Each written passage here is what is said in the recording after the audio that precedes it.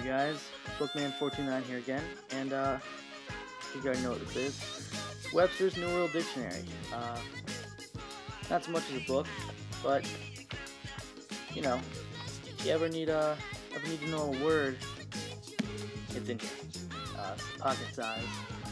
Um, not too hard to understand, you know. Words, they got words from anteater to xylophone uh, actually, a little fun fact.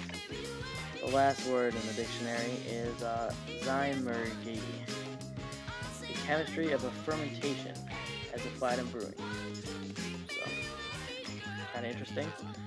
Um, you know, very uh, helpful. There's also sources and uh, other things, but I just want to talk about the dictionary. Um,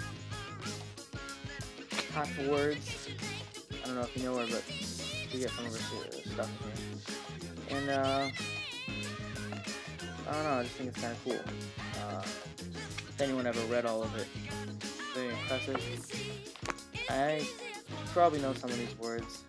Uh, you know, words that not everyone knows, but uh, see them on big tests and stuff.